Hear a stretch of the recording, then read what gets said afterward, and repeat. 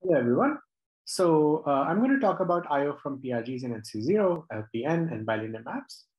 And in particular, I want to focus on this facet of our work, which is, um, which is a really intriguing um, insight about power of lattice-free cryptography.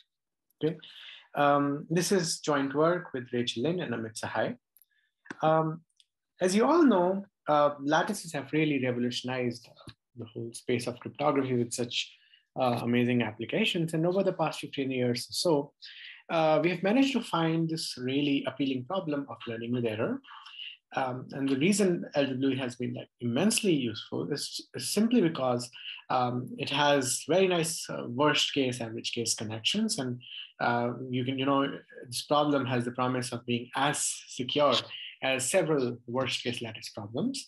And not only that, um, turns out it's uh, our frontier problem to build uh, post quantum crypto. And, uh, and that's because, as far as we know, uh, as of today, we do not know of any uh, quantum advantage uh, for solving learning with error. And it has just really been nothing short of a great success story, starting from like inventions such as homomorphic encryption. As you know, homomorphic encryption is uh, people are trying to deploy it in industry today. It's uh, currently facing, you know, industrial push. Uh, and at the same time, recently actually the works on homomorphic encryption have also won Gödel Prize, which is a um, great thing for the entire field. But not only that, um, it's been useful in so many different things. And on this slide, I just listed just some of those applications, like a really a subsample uh, for those um, applications, attributes-based encryption, multi-key FHE, functional encryption, and uh, so many different things. So the question, the real question that we want to ask is that um, the kind of uh, hardness assumption that goes uh, in like you know lattice-based cryptography, are they really essential in building um, primitives such as homomorphic encryption?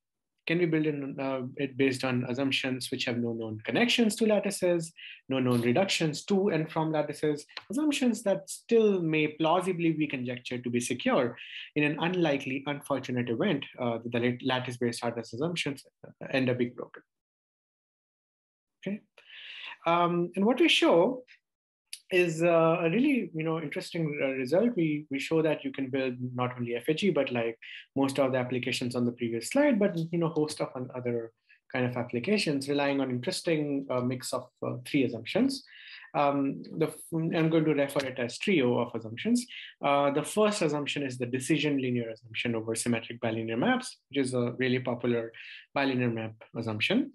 Uh, another is like the learning parity with noise over fields with an error probability of n to the minus delta, where delta could be arbitrarily small constant greater than zero.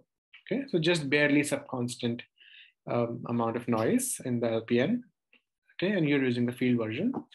Um, third is existence of Boolean PRGs, which are implementable in constant depth.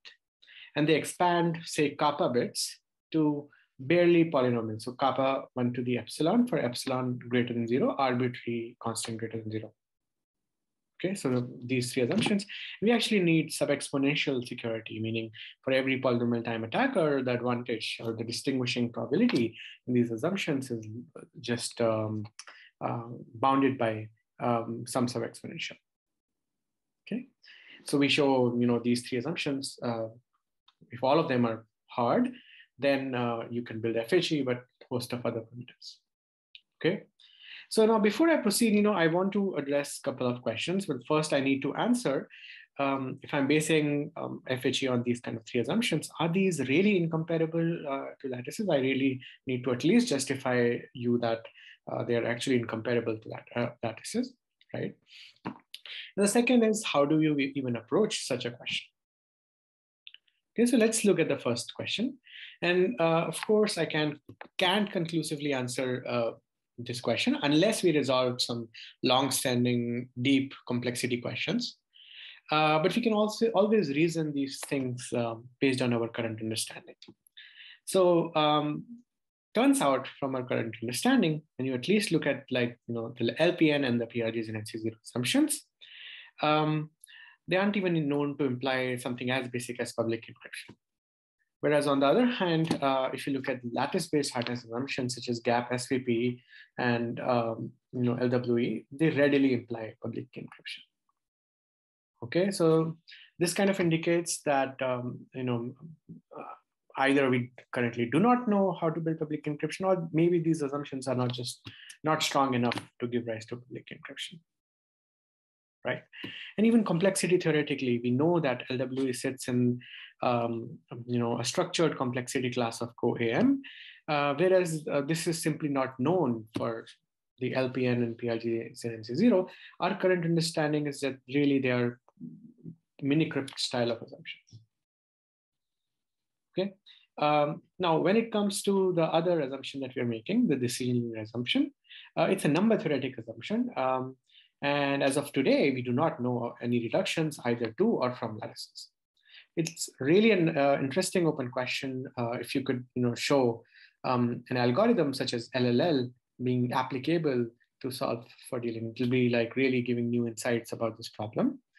And um, um, you know, it'll also open up doors for solve for coming up with new algorithms for not only DLIN, but you know, other kind of um, assumptions out there. Okay, so these are really exciting questions in themselves, and I hope that um, you know community starts uh, focusing on these problems a little more aggressively, and hopefully we'll be able to see answers to such questions over the next uh, few years or so. Okay, um, so this reasonably answers the first question. How about, how about uh, the second one? How do I even uh, show such a result? Uh, well, one way could be that I, I um, go after every single primitive and construct them separately. That'll of course be counterproductive. What we do in this work is essentially we build something which not only you know implies these, but host of other uh, uh, primitives. Um, um, and that primitive is of course indistinguishability obfuscation. Okay. Uh, so our main result is that we can build IO based on these three non-lattice problems. Uh, and I want to stress that this um, actually improves our previous result, uh, which appeared last year, where we show that you can construct IO from um, these three assumptions, additionally relying on sub-exponential hardness of learning with M. Okay. In the rest of this talk, we're going to see how this result actually works. So for the rest of this talk, let's say the circuit that you want to obfuscate is C. It, it takes a little n number of bits as input and outputs one bit. And throughout this talk, I'm going to denote capital N as the quantity 2 to the Okay. Uh, so it turns out if you want to obfuscate a circuit C like this, there's actually a very intuitive obfuscation scheme, which is simply the truth table. You write down inputs from 1 to capital N, and then the output C of one through C of capital. Okay, and this is not going to you know um, reveal anything about the circuit that you're obfuscating, right? Other than the input output behavior. Okay. Um, however, of course, there's a very fundamental flaw with this scheme. And the flaw is that the time it takes to obfuscate this uh, is proportional to capital N. So basically, you have to run the circuit C capital N times. Okay. So this doesn't qualify for uh, being a legitimate obfuscation scheme. Okay. Um, so on one hand, you have this trivial construction. Uh, on the other hand, you'd like to construct an obfuscation scheme where the time it takes should be polynomial in the size of the circuit C. Okay, and there's a huge gap right now between the two. Okay. So a natural question which has also been asked in cryptographic community is that can I improve upon uh, the truth table construction a little bit? Okay, so can I construct an obfuscation scheme where the time it takes to obfuscate uh, grows like n to the 0.99, um, n to the 0.01 factor loss? Turns out that in beautiful prior work, it was shown that such an improvement is enough to, to take us all the way to IO. That if I can construct such a non-trivial IO scheme, then relying on any assumption that gives rise to public key encryption, uh, in particular DLIN, you can build IO. Okay, so for our for the rest of the talk, our goal is to actually construct such an non-trivial At this point, I'd like to remark that our previous work actually doesn't manage to construct this. Uh, we construct an obfuscation scheme where um, the time it takes can grow with n. Um, however, the size is small. Um, and for such non-trivial obfuscation scheme, the only way we know how to go to I.O. Uh, is by additionally relying on LWE, and that's another source of um, place where we, we need to use LWE in a Okay. However, in this talk, we'll only focus on uh, the running time of the obfuscator to be small. Okay, so now let's you know go over our approach. So what is our approach? Well, intuitively, if you think about uh, non-trivial I/O, uh, it's just some sort of an encryption of a special input C tilde. What is C tilde? It just consists of maybe some circuit, some randomness, and something like that. But it's not, um, and, and by the way, we want to ensure that the size uh, of C tilde is small, like n to the 0.99, and the running time of this encryption is also small. Uh, but it's not just any encryption. It's an encryption which hides everything about the circuit C, except magically lets you learn functions uh, of the form ux of c tilde equals to c of x for every input x in capital N. Okay, so it lets you learn the truth table, but nothing else. In other words, if you could construct such an encryption scheme where you can learn uh, the truth table and nothing else, the size of this encryption or the running time is small, then you would be done. Okay. Uh, unfortunately, we are not quite there yet. Uh, and the reason is that we haven't really simplified anything. Um, as such, this circuit ux of c tilde equals to c of x is quite complex in that it runs the circuit c itself on x, so we haven't really achieved anything. And current techniques don't let us construct such encryption schemes. Okay, so reasonable question to ask here, can I replace these ux of c tilde with something um, relatively much more simpler? Um, the answer to that question is yes. Classical works have shown that if you use PRGs in NC0 assumption that we are using, uh, then you can effectively replace this with much simpler functions. How simple? So let's say the locality of the PRG that you use is G. So what is locality? Uh, locality is the number. So in PRGs in NC0, every output bit actually can depend only on a constant number of input bits. And that number, uh, that constant is locality. So um, what was shown is that if PRGs with locality D exists, then uh, you can replace UX of C tilde with specifically chosen 3D plus one local functions, okay? Um, so every output bit just depends on 3D plus one bits. Therefore, it's a 3D plus one degree polynomial, okay? The minimum value of D that you could choose um, in, in, literature for, uh, for such PRGs is five. Therefore, it turns out that the minimum degree that you can use is 16.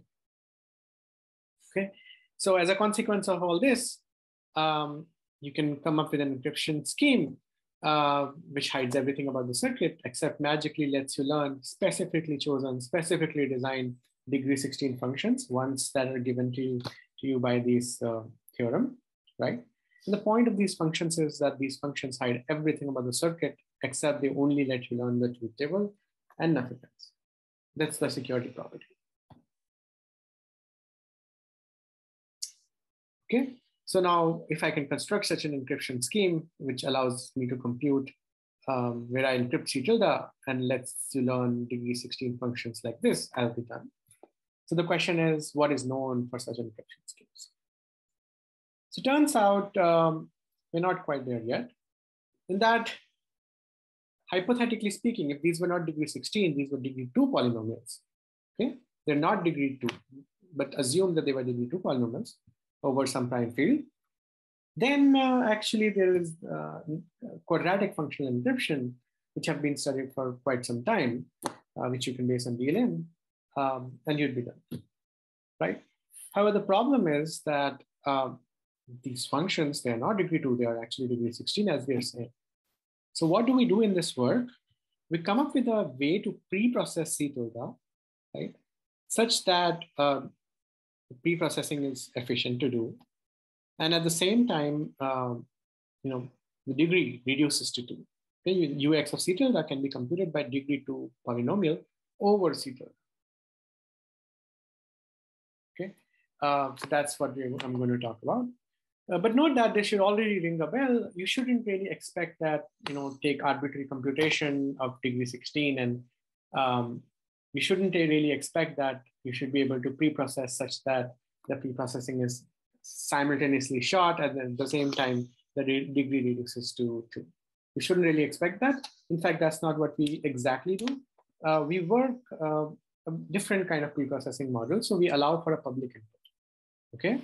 So we're going to take C tilde, pre-process this in, uh, into two components, a public component, which of course, public component is going to hide uh, C tilde. It has to because it's public. Um, then um, you're going to also have a secret component. We're going to only encrypt the secret component. And now this polynomial is allowed to be constant degree polynomial over the public component, but only degree two in the private component. Okay. Luckily for us, uh, using bilinear maps, you can also build encryption schemes supporting these uh, computations, which have a public component and you evaluate constant degree on, on the public and degree two in the secret. Okay. And these schemes uh, go by the name of partially hiding functional encryption, which is actually also built uh, specifically for the context of IO in, in, the line of work that I mentioned in the slide. Okay, uh, for the rest of this talk, we'll ignore the public component and just focus on you know degree reduction, um, like kind of intuitively suggesting how you can reduce the degree to two. Okay, uh, the public component will implicitly come. Okay, so um, how do we do it? This is where we're going to use our key assumption, which is the learning parity noise. Um, and remember the goal is to replace, replace this computation UX of C by quadratic functions. Uh, we do it in two steps roughly. In the first step, we solve this problem approximately. So we know almost solve this problem. Okay, so how do we do that?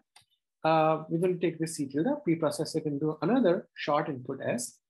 Okay, um, such that for most inputs X, it will now happen that fx of S is equal to ux of C okay, already. It's kind of already solved the problem almost. Okay, now once we have that, uh, what we do, um, and this is where, where, by the way, we can use LPN, but once we have that, uh, we can come up with another polynomial in another short input M. This polynomial is also degree two, such that when I add it to what I already computed, it somehow starts giving correct output on every and this is where we're going to use a surprisingly simple idea of matrix factorization. So we're going to uh, see the first part first. Um, we're going to goal is to come up with, um, you know, this um, a degree two polynomial which approximately solves the problem. And this is where actually we're going to use uh, the most intuitive idea that you can think of, which is to you know use LPN to uh, encrypt C tilde. So remember, we wanted to compute degree 16 polynomials on tilde. What we do is simply uh, encrypt it using LPN. So recall what LPN says, AS plus E, where E is a sparse error, appears pseudo-random. So what we're going to do, we're going to sample our coefficient matrix A, multiply it with a short dimension secret S. Then you're going to add sparse noise chosen over ZP. Um, and then we're going to add C tilde. We're going to write it as a vector and then we're add C tilde. And this way we have formed a vector B, um, which is by adding all of them, mod P. Okay. Now, what's the point of all uh, doing all this? The point is now A and B actually together they encrypt C tilde, they hide C tilde, and that is because of the LPN assumption, because AS plus E is pseudo-random. Okay. The point is it's actually encoded with a secret which is of very small dimension as compared to the length of secret. And this is what makes it uh, helpful for the degree compression step. Okay, so let's see how. Uh, so we have this equation on the right. Um, remember, our goal is to find a degree two function in another short input s, such that for most input x, fx of s is equal to ux of. So I'm going to just give you the candidate and then I'm going to argue both properties. The candidate is simply ux of b minus as, which is a degree 16 polynomial in the secret and b and a. Okay. Um, so let's observe the second property first. The point is b minus as is nothing but c tilde plus right? And now remember, ux was a 16 local function, only depended on 16 bits of C tilde. Uh, and error was actually sparse. It's very sparse. So for most of the inputs x, ux of C tilde plus error is exactly going to be ux of C tilde. Okay, just because the error is very sparse. So this answers the second question. Now we want to understand why um, is it okay to do? Why is it degree two in S and uh, constant degree in the public component B and A? Well, the idea behind this is that it's a degree 16 polynomial, so its degrees in B is 16, its degree in A is also 16, and its degree in S is also 16. We don't care about its degree in B and A because constant degrees are fine. Um, in S, its degree is 16. However, note that S is very small in dimension. Therefore, I can trivially quadratize it. So when I interpret it in another variable, capital S, okay, which consists of um, all monomials in small s uh, of degree at most eight, And that variable, it's actually degree two. Okay, um, and as a consequence of this, um, um, we're good because if S is very small, capital S is going to be small. Just to give you a sense, if dimension of S is like n to the point one, capital S is going to be at most n to the point eight. Okay, and this kind of completes the argument why managed uh, to find polynomial which approximately computes it on every input x. So now how do we fix the problem? Um, how do we do the second step? That's really intuitive as well. So remember uh, what we want to do. We want to compute this function, right? And what we have managed to do, we have managed to do this function. And if I can com uh, come up with a polynomial which uh, computes the difference of these two, then I'll be good. Okay. So observe that this is going to be like, you know, a sparse vector because fx already approximate on most of the inputs. And the point is that if I look at this function, it's very sparse. So I can effectively arrange it as a matrix and then kind of factorize that matrix. So the matrix is going to be sparse. Uh, it's going to be like low rank and low rank matrices can be factored. Okay. And you'll get a compressed uh, M. Okay. So as a consequence of this, uh, you can come up with a degree two function which computes the difference. And then you can add it. And that way you will get the, the correct output. Okay, so this really completes uh, both the like roughly, and of course, I'm hiding a lot of details from other. Just wanted to give you the key intuition. So, however, there's a problem with it. In the argument that I showed, the time it takes to pre-process this public and secret part is actually going to be capital N because remember, we, we are computing the difference and then compressing it. The time it takes to do that is going over every input capital N, right? So the time it's, it's going to take is capital N. So this doesn't solve the problem. Um, and this additionally requires LWE if you want to make this idea work. The key inside of this paper is that if I wanted to do this computation for many, many circuits, let's say K circuits, it turns out that we can actually amortize in K. So we can come up with the way to pre-process such that the time it takes is like um, n times k to the 1 minus epsilon for some epsilon plus polynomial in k. Okay, and turns out that this saving in k is enough to get us all the way to IO. And that's one of the main contributions for this paper. Of course, uh, I'm not going to in a lot of details for this. Um, the key argument is really combinatorial and it relies on uh, exact circuit implementation for you know specific RAM programs such as lookups and sorting, uh, sorting networks and so on and so forth. I'm not going to go that uh, go over that in this talk. Okay, um, and with that, you know, I'd like to thank you for listening in. Um, and I would like to leave you at uh, some open questions, uh, interesting open question. So one of the most interesting open questions is, can I construct FHE uh, from these assumptions, like non-lattice assumptions, but in a direct man manner?